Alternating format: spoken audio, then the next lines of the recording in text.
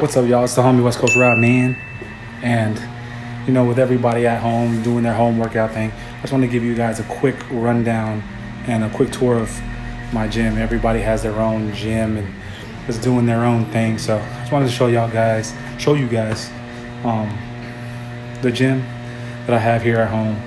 Um, I know you guys, a lot of you guys seen the video already where I broke it down, like prices and, and whatnot, but here's just a quick general tour of my home gym, man. Yeah.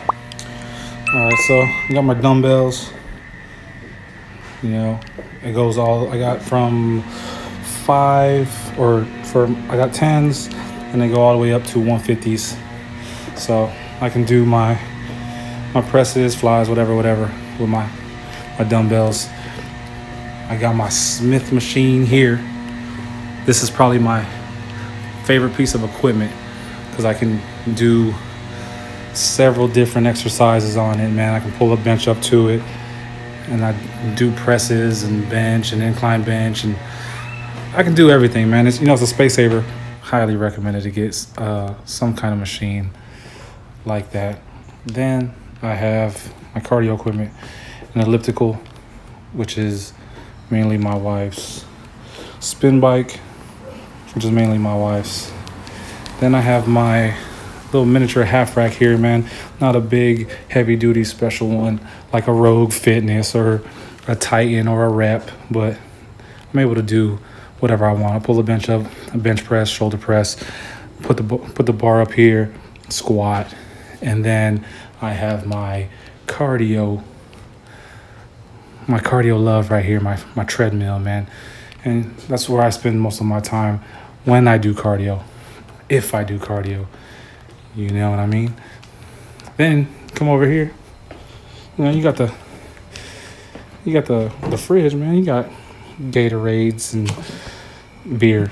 But you can put protein shakes and all that stuff in it or whatever. We got our we got my accountability calendar, you know, keeping track of the workouts.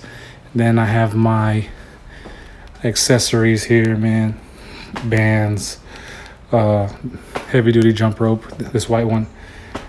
Got uh, bands for the hips when I do lunges and whatnot. And I got scales under shoes.